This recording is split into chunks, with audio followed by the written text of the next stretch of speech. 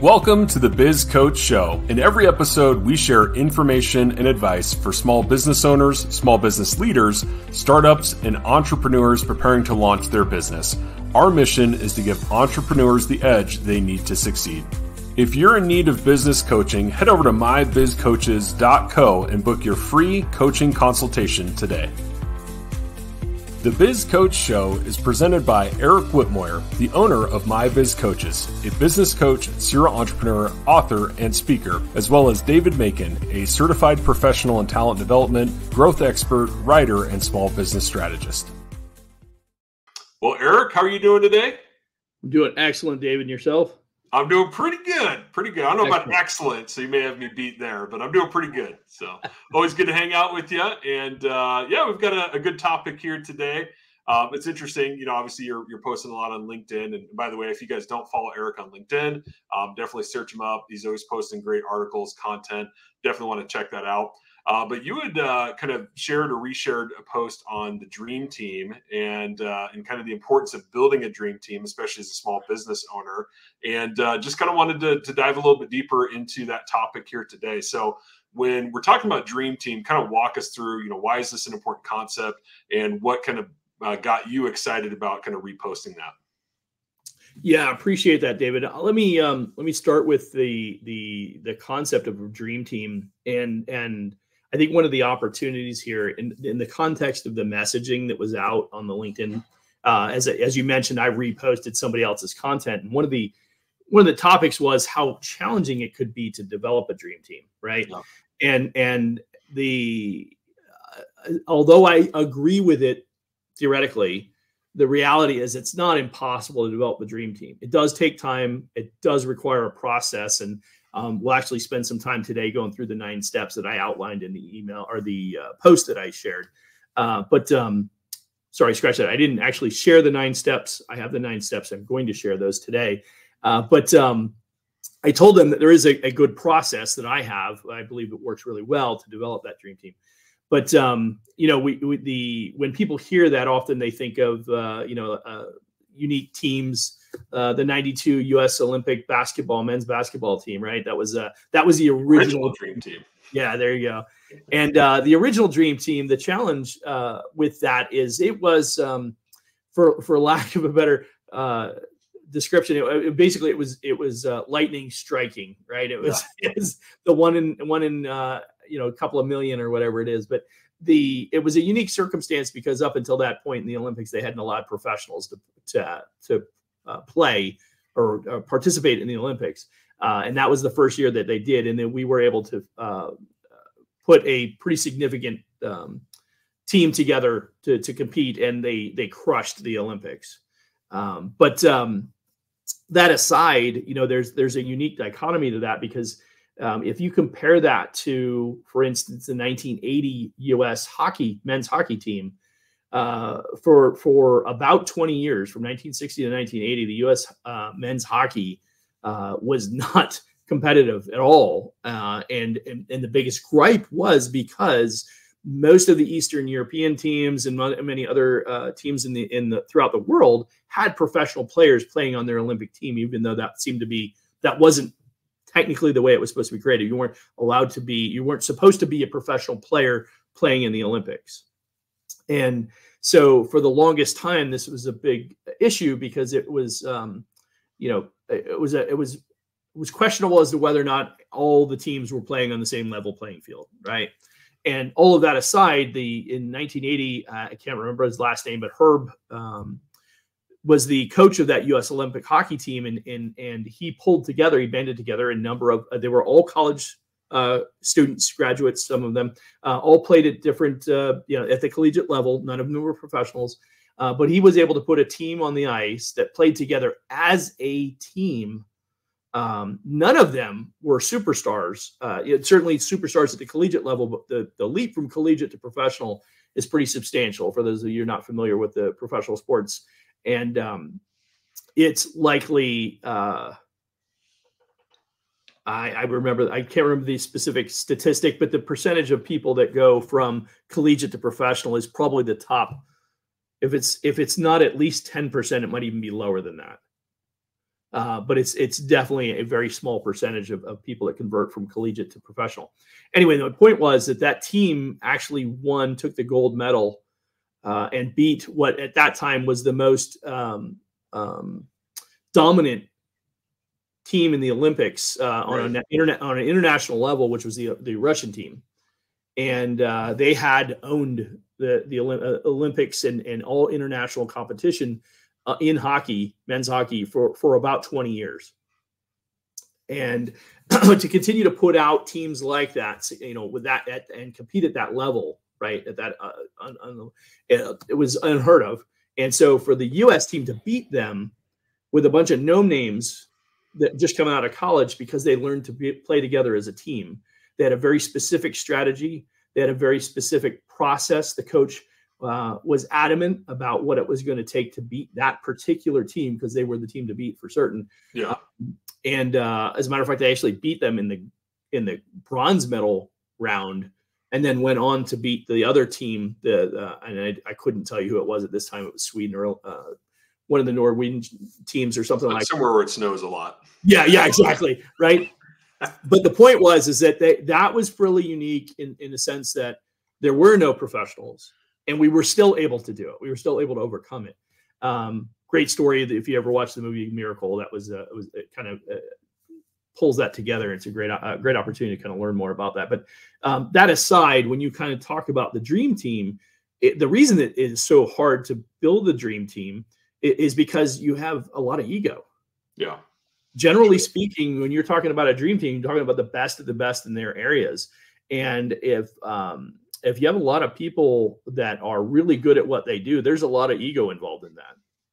Ironically, if you're not necessarily a big uh, fan of sports, you can also watch um, Oppenheimer. Hmm. Uh, Oppenheimer was about uh, uh Dr. Oppenheimer, who who was uh, the uh, of the atom bomb. Uh, but it was it the hydrogen? I think it was the atom. It was the atom bomb. But uh, the, the the point is, is that the team that he created to build that um, you know put all the political stuff aside and all that kind of just and all the wartime stuff put it all aside the people he brought together to work on that project were some of the smartest people in the world yeah and to be the orchestrator that ties all those key people together all that ego everything that's evolved around being the best at what you do and then taking the best at what you do and the best at what I do and the best that somebody else does and tying that all together and having all those people work in unison is is an exception. Yeah. That is that is far and away probably one of the most challenging things to try and do. So to be fair to the person that posted on the uh, on the follow up on that on the uh, Dream Team post to talk about how hard it is, it is difficult difficult for certain um, and one of the things that I would venture to say is, is that um, you may find that your dream team isn't necessarily a combination of all of the best of the best in those categories. They may be the top 5%. Right. Or the top 10%. There'll definitely be some of the best, but you may not find that those individuals necessarily play together well with others. Yeah, almost guaranteed they won't. In fact, I'd say right, and and you have to be More a strong leader to manage those personalities and that's the key right yeah. that's uh, and that's honestly that would be the comment that i would share with somebody when they're talking about building a dream team is that the individual in charge of that team the leader that's pulling all of that together the one that is in fact orchestrating all of that they have to be confident enough in their skills and their abilities to to know that they're recruiting people that are probably way better in certain areas of whatever it is that you're focused on than yeah. they are themselves um, and they're confident in their own abilities and their ability to get people to work together in unison and they're, they have enough confidence in their confidence in their strategies and their concepts you know what they believe is going to work because otherwise the egos will will you know they'll just tear it apart right you'll, you'll just run into problem after problem after problem yeah. Um, but yeah to your point the likelihood of the best of the best being able to play together hmm, that might be a stretch but you don't to have a true dream team in my eyes I'm saying it's a combination between the 80 Olympic team with a phenomenal strategy who took the best of the best and made them play together as a team. Yeah. As well as the 92 basketball Olympic team that was really some of the best of the best in that regard, right? So you take right. the combination of the two. It may not be the very best at every position or every skill set, but it'll be some of the best in the world. And you get them to play together as, as a group. And then what you can accomplish is, is off the charts. Yeah. Yeah, I, th- I thought we were going to be talking about Space Jam when we were talking about Dream Team, but apparently I was off. It's the 1992 team. yeah. Well, um, David, we know that your understanding of uh, you know many of the, the sports is not not quite. I could have zoned out for about five minutes there, but fair enough. Uh, Lord of the Rings, maybe you know, Gandalf, yeah, yeah, there you, go. Like, you know, okay. I don't, maybe I don't know. But all right, so if the elves come together with the dwarves. yes, yeah, okay. Now I'm getting it. Now I'm getting it. awesome. No, it's as you were saying that too. One of the things I was thinking about was, and I think we've talked about it in a couple episodes, is um, kind of the talent development strategy around you can build talent, you can borrow talent, or buy talent, right? So yes. when you're assembling a team, traditionally, I prefer to build a team, right, and get them to a level where they're at, you know, peak performance. Um, that's not always the right strategy or the best strategy, right? You can borrow talent where you're hiring, you know, freelancers or contractors or whatever, subcontract things out, um, or you can uh, buy, right, which you, you know, it's going to be expensive to get the top ten percent to your point, or even top twenty percent, and you got to be able to throw, you know, a decent comp package their way to get that person on your team. And so I think it's important to understand you know you, are going to have to have some pain in that process one way or the other whether it's you know time and effort or financially uh, but that's what it takes to get that team assembled. Absolutely. Yeah. And and and all of that said without the right strategy yeah. it won't work. True. Yep. Right? Yeah. Yeah. And i and that's the piece that i think that um and i think that honestly i think that's the piece that a lot of people are, are, are will will shy away from. Yeah right? If if you're, you know, I, I, say this because I felt I was pretty good at managing strong teams, but the, yep. the reality is is that um, uh, you have to have a certain level of confidence, almost borderline overconfident, yeah, to be able to to take on a task like that and and and challenge people in a way that makes them dig deep. Because remember, the, the key of a, the the key role of a leader isn't necessarily to um, uh, it, it isn't isn't about the leader Right. It's about the leader getting the best out of the individual contributors and then working together as a cohesive unit. So, an effective leader that can really pull in a top quality talent, eh, multiple top quality talents, like you were suggesting, that that really that's a whole nother piece to it. So, it, it again, you know, regardless of you know when, when you who who's on your dream team, your dream team has to have a phenomenal leader. Yeah. Right. right. And so, and then as you pull it together, they have to have a, a really strong strategy that's going to accentuate your strengths, you know, uh, uh, offset your your weaknesses, and and and recognize how you can, uh, even then assess who's your competition. Right. Right. It's particularly, uh, you know, depending on on on the you know the field of battle that you're you're choosing. Right. The reality is you need to also know who your competition is, so you can know how best to leverage those opportunities. Yeah. Awesome. Well, hey, I know you've got a couple things that you've used over the years to assemble some pretty amazing teams, dare say dream team. Um, and I think what nine nine kind of key things that you think about when you're going through that process. Do you want to walk us through that? Sure, absolutely.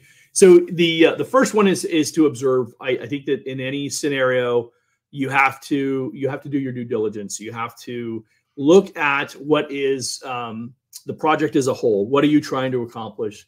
Uh, how does everything fit together? For instance, you know, using any of those analogies that we referenced, whether it's basketball or hockey or or or building an atom bomb, uh, or building a good sales team, a sales organization, yeah. for instance, right?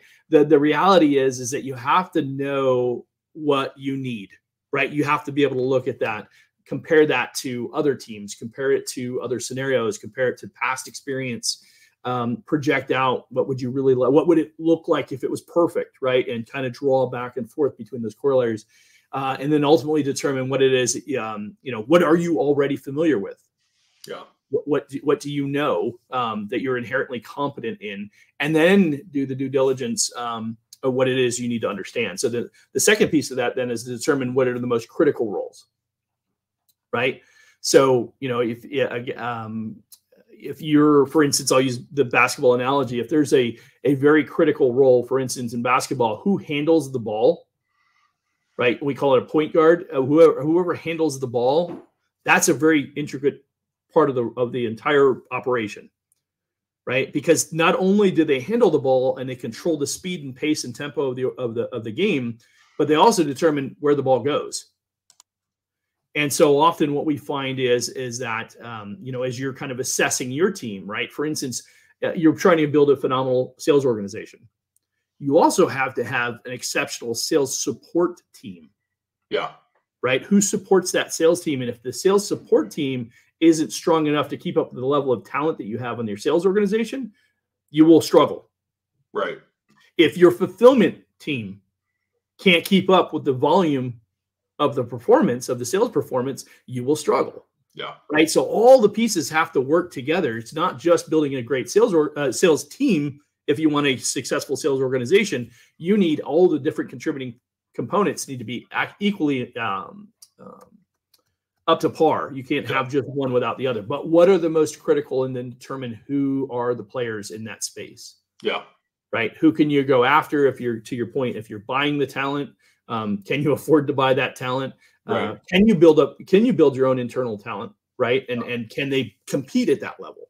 Right. Uh, so that's a that's a big one. Is it's determining those pieces. Then you review it.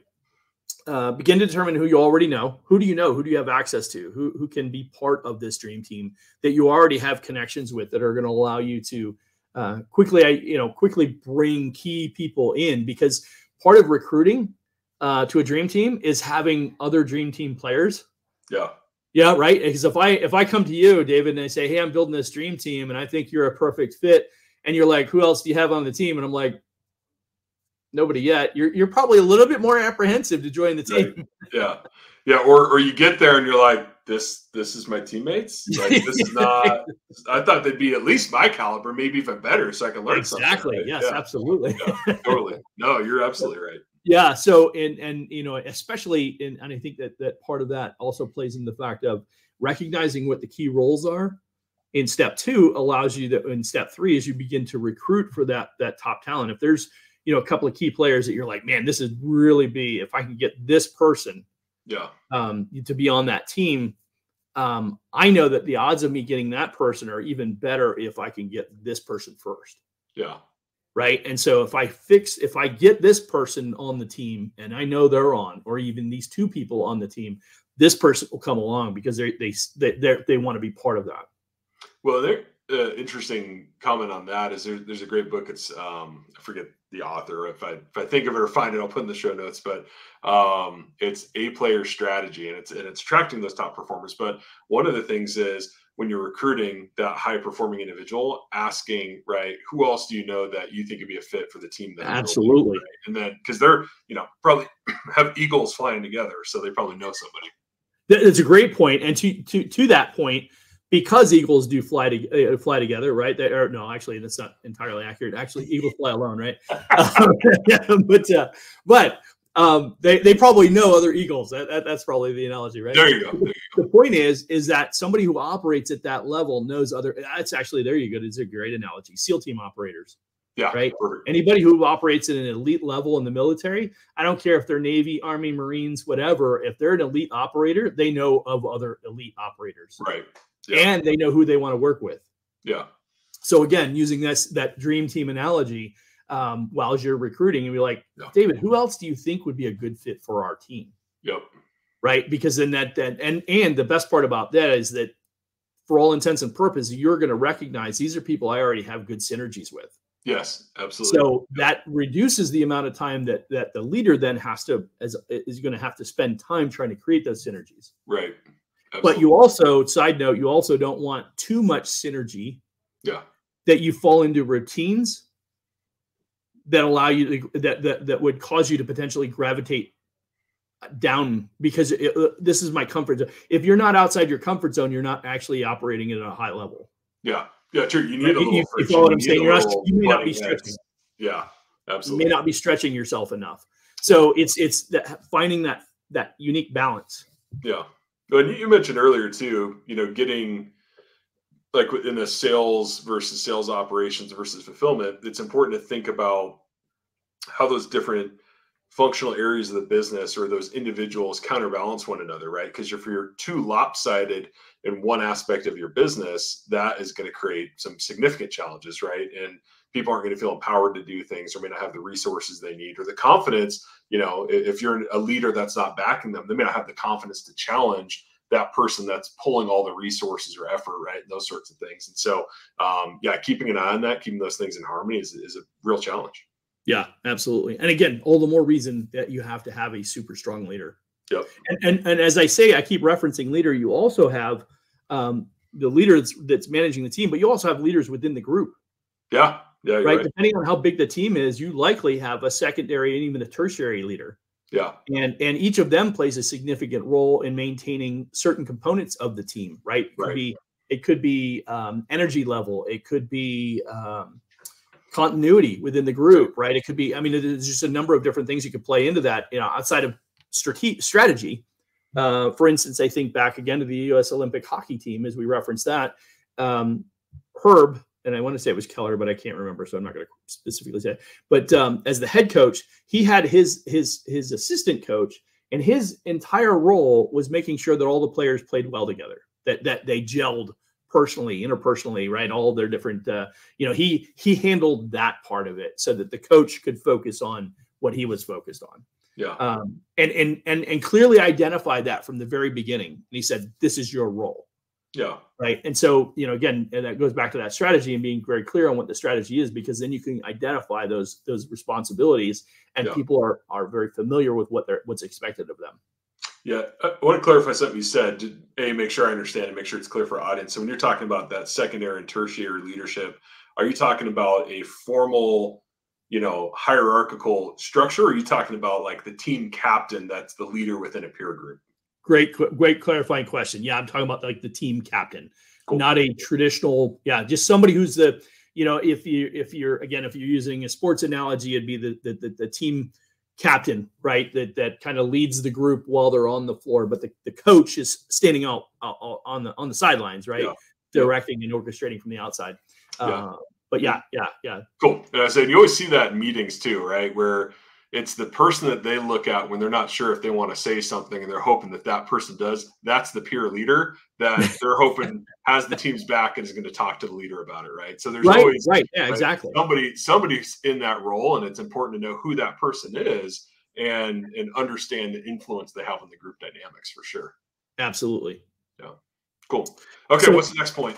So the fourth step is interviewing right? Uh, while you're doing your research you should have uncovered people that are the best at with the roles that they have uh, begin to talk to them. Um, you also, while you're doing the interview process, you're gleaning insight into your project. This is likely if you're building a dream team, you're you're doing you're you're setting off to do a project that's never been accomplished before. Mm. Right. So while you're doing that and you're talking to the best of the best in the world, theoretically, or in your space, whatever the case may be, you're going to gain insight right? Even though you may be the leader, the coach, whatever you want to refer to it as, is the person who's bringing this all together, bringing these people together, you have this strategy. Your strategy may not be perfect. Yeah. And and and the best leaders recognize that don't always have all the answers. Yeah. Um, so and who else best to learn from than some of the best people in the world at what they do? Yeah. Right. Or in their space. Right. So so considering that, recognize that you're dealing with some really high level knowledge individuals and that are going to be able to help you identify things that you didn't clearly understand. Again, I'll use the Oppenheimer um, analogy. If you watch that movie, you will see that there are times where Dr. Oppenheimer is engaging with these different um, physicists and and and other uh, chemists and what you know whatever their their their uh, scientists back you know sci- scientific backgrounds are or whatever, um, and they're correcting him on some of the theories hmm. or they're adjusting theories. I mean, some of the things that some of the, the insights and knowledge that came out of that project were world changing. Yeah. Right. And and and because you were able to get the smartest people in the world, so to speak, together on a particular project, uh, you were able to learn from one another and challenge theories that had been tried and true theories for many many years in in some cases. Yeah right? So what's interesting about that is is it as a as an as an intelligent leader going into a scenario like this as you're beginning to interview you're going to have people provide you just like you mentioned you know david who else would you know that might be a good fit for this project right. right? Uh, what else do you know that i should know about embarking on this project? Mm-hmm. because i may not be able to bring you in david you might not be interested in my project it might be, uh, be the right time for you um, but you feel obligated to tell me that I might want to consider this particular you know point whatever right?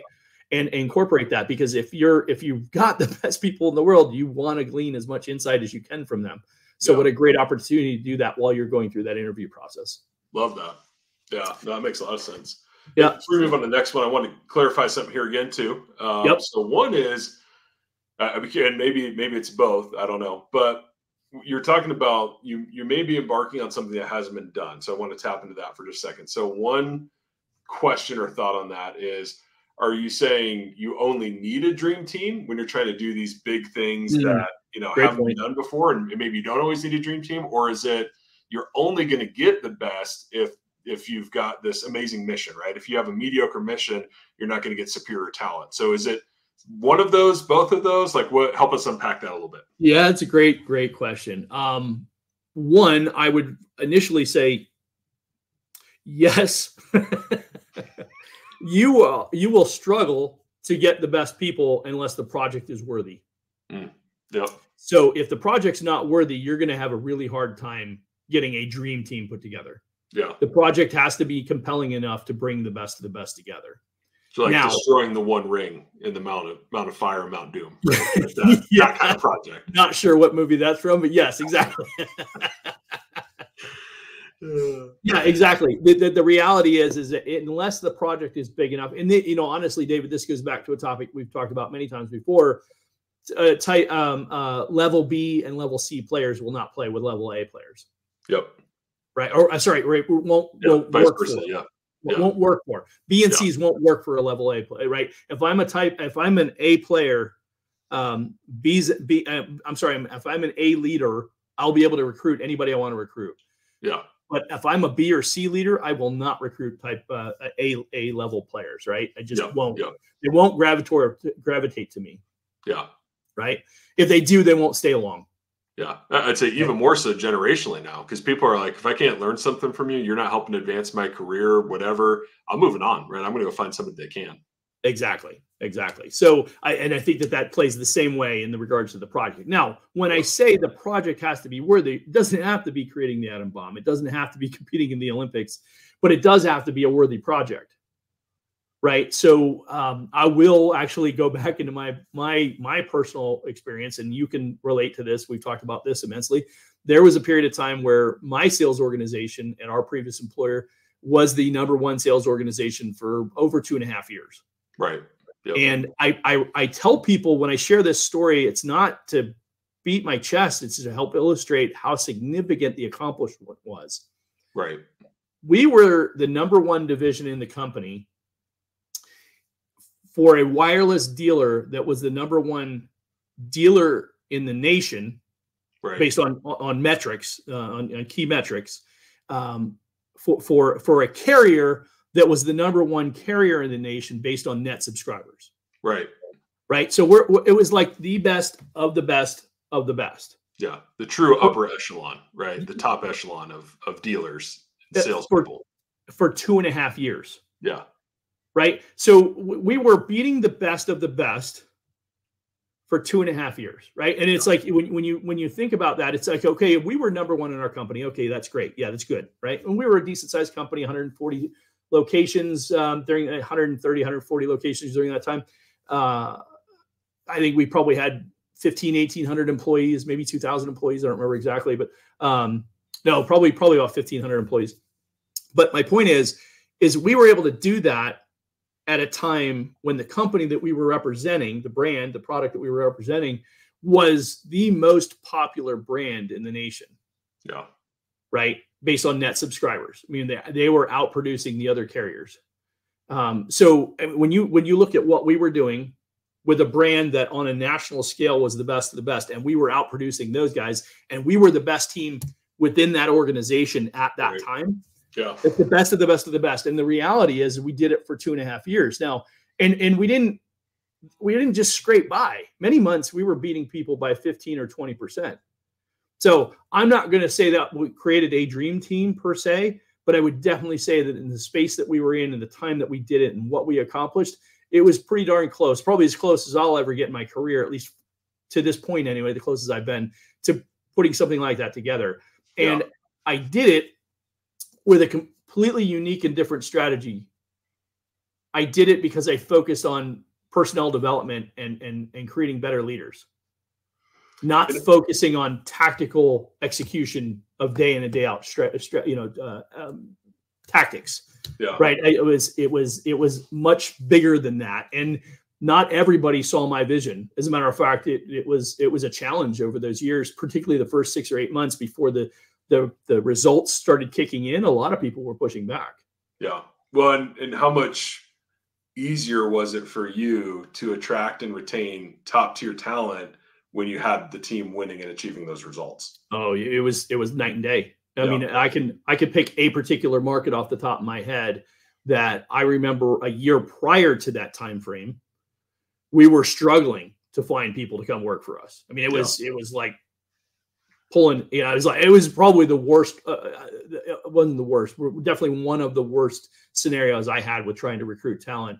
Fast forward a year later, and we have people picking up and moving from where they live to go work in that market to have the yeah. opportunity because it was so good, right? I mean, yeah. we're talking about people that didn't even work within our organization at that time, leaving where they lived to come work at our company in that market because there was so much of, so much of an opportunity. Yeah, I mean, people people want to be on a winning team, right? That's I it. mean, there, there's a lot to that financially. I mean, the pride, right? All those sorts of things. And, and if you're just growth opportunity, yeah, totally. And yeah. I think if you're if you haven't achieved the results yet, maybe you're just starting your business in your early stages, right? Then you have to have a winning vision, and you need to project that winning type of confidence to the people you're trying to bring in. Yeah, and that's um, it's, it's one of the pieces we talk about. That is uh, that is probably one of the hardest parts as a yeah. leader of trying to build that team. Right. Is is having the confidence and sticking with it. Right. Yeah. Um, so recruiting that the, you know the next step is to recruit, continue to look for and and find the best talent. Uh, you know, and and and recognize as I mentioned before, you may not always get the best of the best, but if you're in that top echelon, that top you know three, five, seven, ten percent um, they're uh, uh, in that caliber, yeah. but they can play as a team, then that's right. the right fit. Yeah. Right. Because if they're if they're so isolated in their individual performance that they can't be a contributor in the team, uh, you know what our organization was like. Our our culture was you don't you don't if you find a, a, a strategy that's winning, you don't just keep it to yourself and hoard right. it. Right. Yep. You share it within the organization, allow everybody within the organization benefit from it. Yep. And uh, uh, a dream team would need to do that to be able to really benefit. Sure. So the sixth step is then to remember that a talent. So we already touched on this. A talent won't follow a, a B level leader, right? And so we kind of touched on that. But uh, you need to be you you must be sharp and prepared and fully committed to the project. I think it's another big thing to think about. Yeah. Um, as the leader, if you are not 100% committed to seeing the project through, not only will you not find top talent, uh, you'll be lucky to find any talent because people can sniff that out. And if you lack confidence, then you know you, you, again you won't find the top talent. Even even if you are a quality leader, but you lack the confidence in achieving the objective, they'll they'll sniff that out and they'll be like, "Yeah, I don't see you guys winning. I don't want to be part of a losing or operation." Yeah. So I'll, I would say just going back to the B leader, I'll give you a chance for a shameless plug here, but um, I, I, think if if somebody does recognize, hey, I'm I'm struggling to attract, retain, or develop an A player, and they look in the mirror and say, maybe it's me. What value does a business coach have for somebody like that? Great question.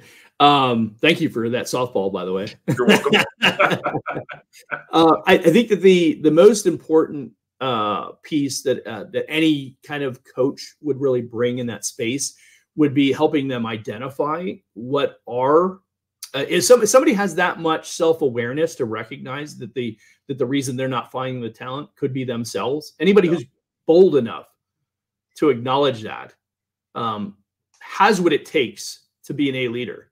Yeah.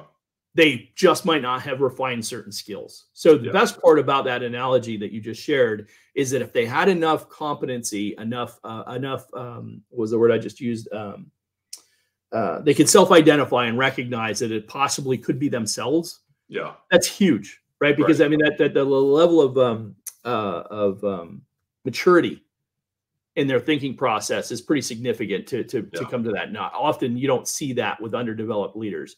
Yeah. Um, so a leader that's willing to admit that they could be the gap, right? And that, and more importantly, what are some of the things I could work on? That that's that's what you need right there. Then as a coach, it's just yeah. identifying what are what are the potential gaps, and it could be something as simple as, um, you know, you have a tendency not to listen effectively, yeah. right? right? It's like you hear but don't listen, right? The words come in, but you still move forward with your own ideas, and you're not allowing people to collaborate. Yeah. Um, you know, in a winning team, there's going to be collaboration. There needs to be collaboration. If you have the best of the best, you have to be able to, to collaborate. And even though as the leader, you have to be clear on your strategy and committed to it and all that kind of stuff, you also have to recognize that what you're doing isn't working. Yeah. Then, then you have to be willing to pivot and adjust accordingly. And so, yeah. um, you know, strong leader is going to be able to to uh, a, a successful leader will need to be able to recognize that and adjust to that. A good coach will help somebody self-identify. Yeah, um, and, and I think find that. Yeah, and I think it's important for you know small business owners that are watching or listening to this. Right there, there's no there's nobody above you like in an organization. You know you don't have a ceo that's telling you you know hey let me help you guide you or direct you and give you career feedback or you know some other supervisor. So where do you get it right? Unless you're just insanely self-aware and and or you're really good at listening to feedback and implementing it you have to get outside perspective because it just doesn't exist in a small business if you're the owner right? And that's really where that coach can come into play yeah, absolutely. And and and I think that you know, as you even say that, David, that, that that's one of the things that in the in the years since I developed my biz coaches, uh, or even as I embarked on this whole coaching business model, um, what I've uncovered is that the, probably the single biggest uh, resource that that I bring to to a client is the ability to act as a sounding board. Yeah. To vet ideas, to challenge ideas, to to suggest nuances in in a strategy or something like that. Um, there's so much value in that that uh, that uh, uh, the owners um, may not necessarily be able to appreciate until they've worked with me long enough, or a coach, I should say, long enough to really see that play out. Yeah. Um, you know, the first couple of times you have an interesting conversation around, you know, unintended consequences, right? Because I, I I remember doing that for years with our previous organization and and kind of like, hey, we we had this idea, we executed on it, it got us results, but one of the unintended consequences that's played out now is it's created this issue. Yeah. And uh, right. how do we how do we still continue to maximize the value, the results we're getting here while buffering against this unintended consequences detriment that we really don't want that's crept up now and caused a problem for us. Right. Makes sense. So, and it's not easy to see that without the, the, the life experience to go along with it. Yeah, for sure. So, okay, so the seventh step then is to don't forget an A team, uh, an A, uh, a dream team is only as powerful the cohesiveness of the team. Hmm. Uh, if the group can't or won't work together, it certainly won't perform as a, a, dream team. And again, I go back to the analogy of the basketball team versus the Olympic uh, gold. And I say that the 92 U.S. men's Olympic basketball team crushed everybody. I, I think they, I remember a game they beat somebody by 50 points or something ridiculous like that. In a game that would normally go to 120 points, they beat them by 50 points. Um, that's not even in the same arena, right? right. Yeah. yeah. Uh, we could have played all of our C players on the dream team and still beat them. You know, it's like, but um, the uh, what what made the the again the hockey team so uh, so significant was the fact that they weren't necessarily that best of the best on a on the on an international scale, uh, but they were able to play together in a unique, cohesive way that beat some of the best in the world. Yeah, right? right? And so that was what what made the the difference very unique. And and we've struggled immensely in years since to be able to field dream teams, right? To, and that are uh, that all that do compete on a competitive level with some of the bigger national team international teams because those international teams have learned the lesson they've learned to play together as a team and they don't have the same structures and dynamic issues in that you have all these egos trying to play together and all that fun stuff so sometimes the best teams aren't necessarily the very best of the best. It's the best that can play together. Yeah. yeah and so well I continue to bring that together and, and, and, and uh, bring that up as a key component of a team that's going to successfully play together and compete at that level. Um, another consideration is is a dream team that performs at the highest level may not have uh, the best contributors at every role. I mentioned that earlier.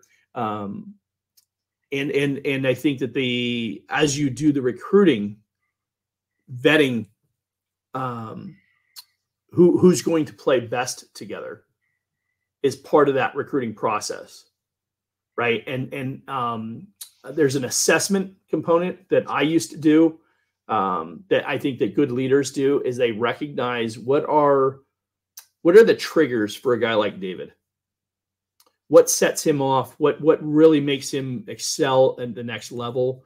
What are what are the things that um, uh, will send david in this downward spiral right? And as an effective leader i need to know that all the time with any team that i manage but with a dream team it's a whole nother level of that expectation right? Sure. i have to know how far i can push you before you you fold on me. I have to know how hard i can push you um, or, or what, what what's going to get you to to to to come back from a setback. Yeah. You know, I, I I got to understand you at a level, so I have to be a really really good coach, leader, whatever you want to reference. Uh, because if I'm not, uh, and I, I am not going to know how to get the best out of you. So really, kind of di- diving into and understanding who's playing for me, and and and how to get the best out of those individuals, and that if that's important in any leadership role, it's significantly more important with with that type of caliber uh, of individual and going after a project that big. Yeah, that makes sense. Uh, and so the last thing is to remember that accomplishing something like this will likely take months and even years um, to bring it all together. Uh, but it will never happen if you wait until you have all the right pieces in place. Um, that just doesn't work. Um, like any work of art, this will likely be the culmination of time, energy, and other valuable resources, but it'll be worth it in the end.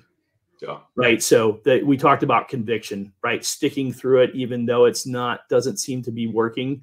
Um, like anything in life, um, often if you look at it in a graph, you know how things perform.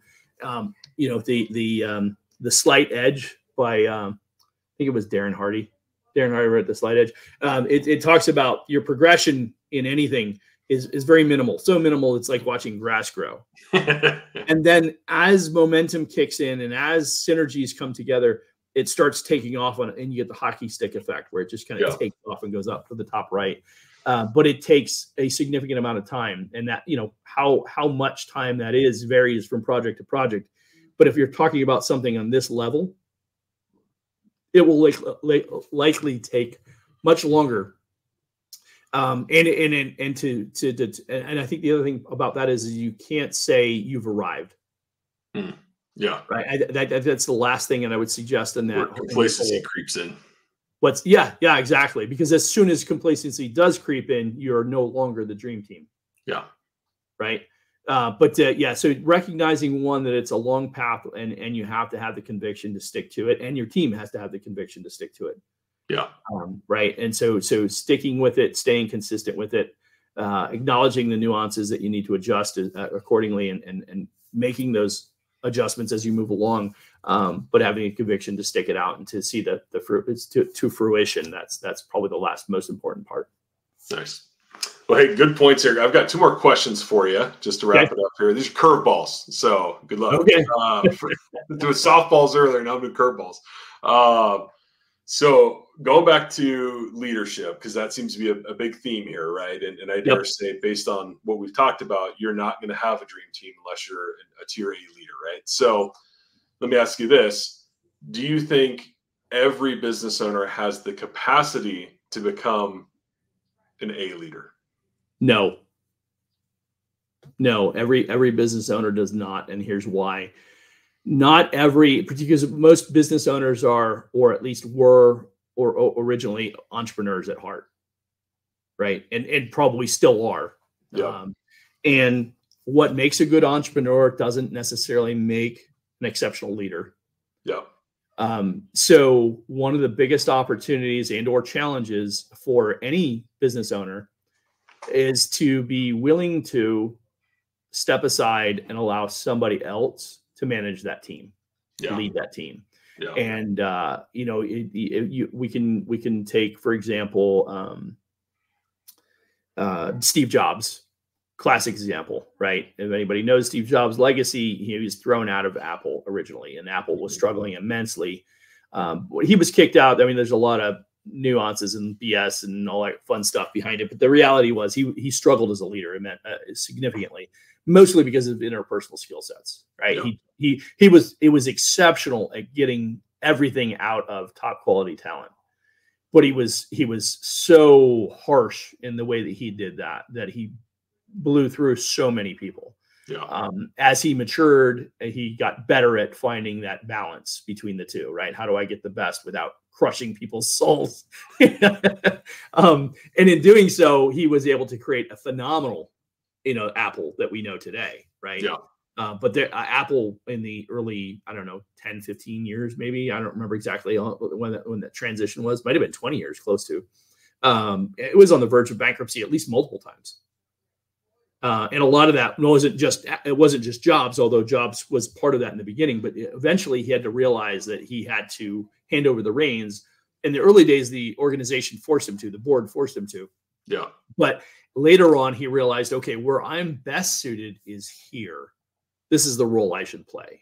Yep. And he did the technological advances and things like that. And he became a better leader over time. But there was a time that you wouldn't want him to lead your team because you know he might he might be able to push the engineers and challenge the engineers, but in the meantime he could also blow out a whole bunch of people. yeah, because sure. he pushed too hard, right? So, uh, and that's you know one extreme example, but the reality is that's very common for many owners. As yeah. a matter of fact, I saw a phenomenal video today by a gentleman by the name of Steven Bartlett he's on uh, LinkedIn. Uh, so I've, I've, come to respect immensely. Uh, did a great example of exactly he called it um, founder chaos. Mm. And the issue is is that the the uh, founder right has a passion and a vision, and they can see everything every step from here to 20 years down the road and they can see every little nuance of, of in their right in their vision of their business they can see every little component of it and they see how it all intricately fits together. The average employee has no perspective and right. can't can't possibly envision, you know, anywhere a fraction of what the founder sees. And so the problem is, is that you know having a conversation with like somebody like that who's very passionate about what they're trying to do, very much like I can do from time to time, uh, very passionate about the goals, the, the, the ambitions and anticipations that I have for this business. Um, if you get me going on it, it will it will be distracting because you can't follow along because you don't see all these pieces the way that I see them. The same problem that Jobs had, quite honestly.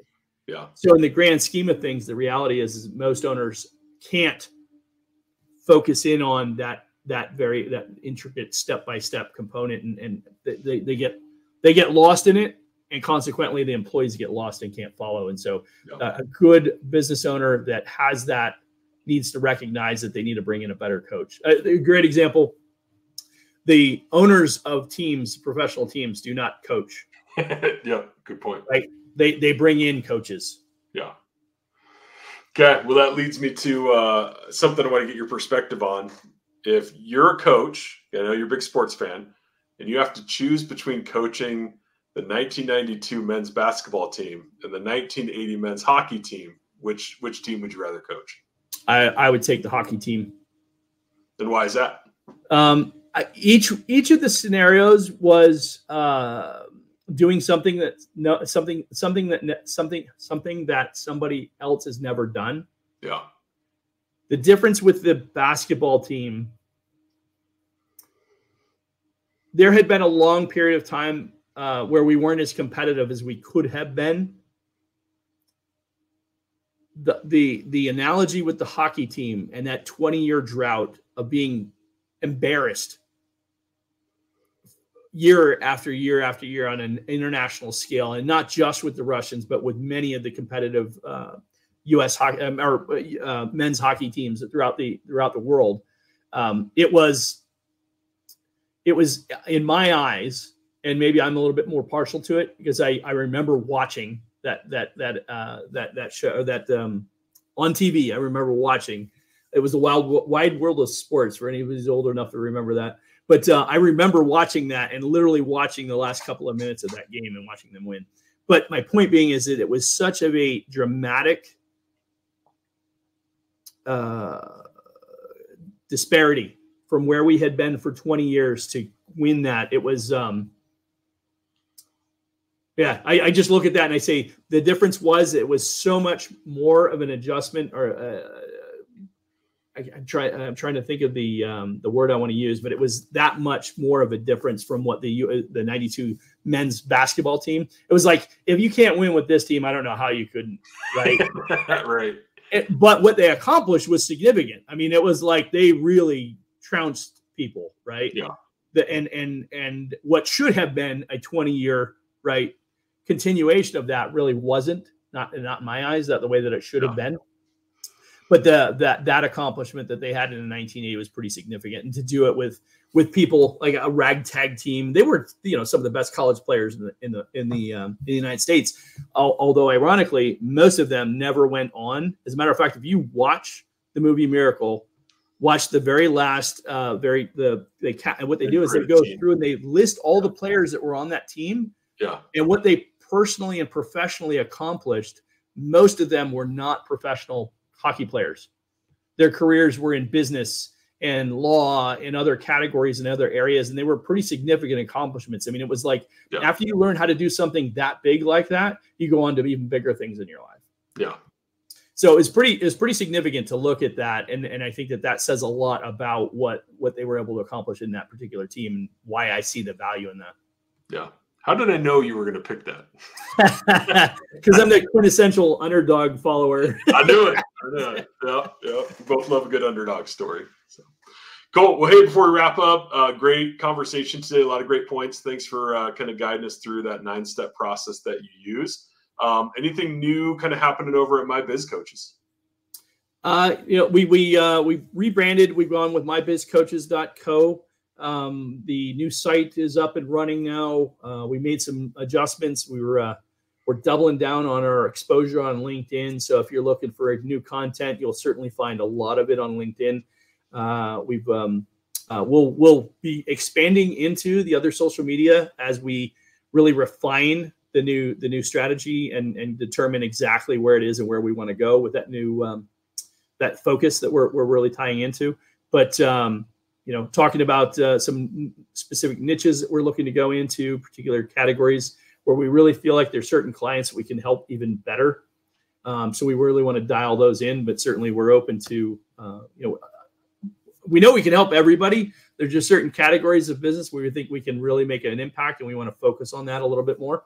But um, yeah, anyway, so as it stands right now, that's a, that's a big focus for our, our strategy for marketing was LinkedIn and uh, excited to get more engaged with the clients. I think we can do that better uh, with with followers. Sorry, um, I think we can do that better by uh, by mastering one of the social medias instead of just kind of shotgun across all of them. So I'm excited to see how many people we can generate, get more exposure, and get more listeners and, and, and followers for for even our channel here.